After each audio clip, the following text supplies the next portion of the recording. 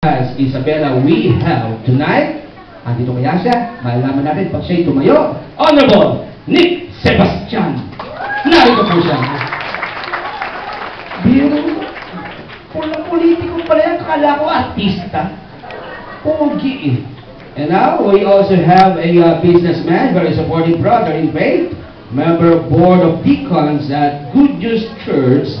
Ladies and gentlemen, Mr. Voltaire Kalimlim. Voltaire, Voltaire. Parang, ah, anong pronunciation nun? Voltaire sa inyo, okay?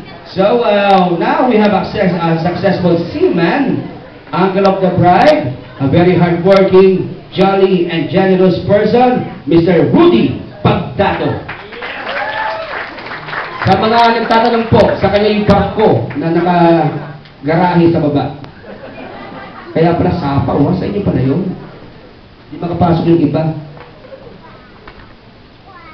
Uncle of the bride is successful seaman, loving husband, and good provider, and a loving father. Ladies and gentlemen, narito po, Mr. Gruel Pagdato.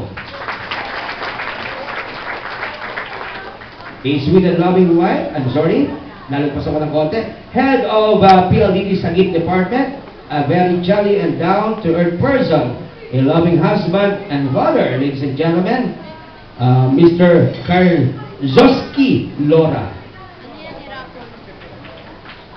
Mr. Lora? And now we also have Uncle Bride, a loving father and good husband, businessman, owner of a company, and above all, a very happy grandfather, Mr. Romeo Julien or Kilien. Mahaba-haba po ito. a good family friend, like a mother to the bride, a loving wife to a deceased husband. I'm sorry, parang uh, nagpasa ko to. Okay. Uh, uh, uh, uh, uh, uh. Doon mo tayo sa mga kalalakihan, I'm sorry. Uncle of the bride, a loving father and husband, a good friend of our pastor, successful businessman of his own company, Mr. Serafin Garcia. Sir, good evening po. Cousin and life and other brother to the groom, a successful OFW, Mr. Joseph Cabrera. A senior architect, mentor to the groom, a good family man, loving husband, and a good provider to his family, architect Jose Vidal. May uh, ginagawa po siyang bahay. Uncle of the groom, a loving husband and good father, a brother in faith, Mr. Horacio, or Verdad. Pwede po tumayo? Ayan. Cousin-in-law of the groom, a loving father and husband, Mr. Joseph Albano. Wala po ba akong nakalimutan sa mga ninong? Wala naman. It's complete. Dumakon man tayo sa mga magaganda. Hindi pwedeng hindi makakuha ng picture at di ba recognized? Siyempre, sila yung mga apat na oras sa parlor. Biro lang. Hindi mo kailangan eh. Natural beauty. We have tonight first on our list, on top the bride, very supportive wife, and deeply rooted Christian and happens to be a daughter of the honor of Popuyo Cosmetics sabi sa inyo eh. Simula pa lang yan. Ladies and gentlemen, Madam Ellen Gillian. Yan ang kuweta. Siya yung model mo. Okay, a very active woman of faith, supportive wife, and a business partner to her husband. Ladies and gentlemen, Miss Teresa? No? And a favorite aunt and like a second mom to the bride, very generous and down to earth, yet a strong woman. Nag-gym siguro. A loving wife and mother, Miss Sally Pagdato.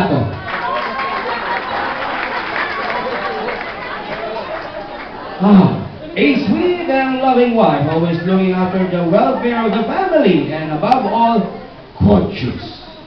Ladies and gentlemen, Miss Maria Karin Pagdato. Maganda na, ano? Hispanic, ang dating. On to the bride, an educator and a very good mentor to her children, Miss Corazon Mohametano. Aunt, godmother, and uh, have become like a second mom to the groom, an educator, member of board of deacons at Goodness Church, Miss Lydia de la Cruz.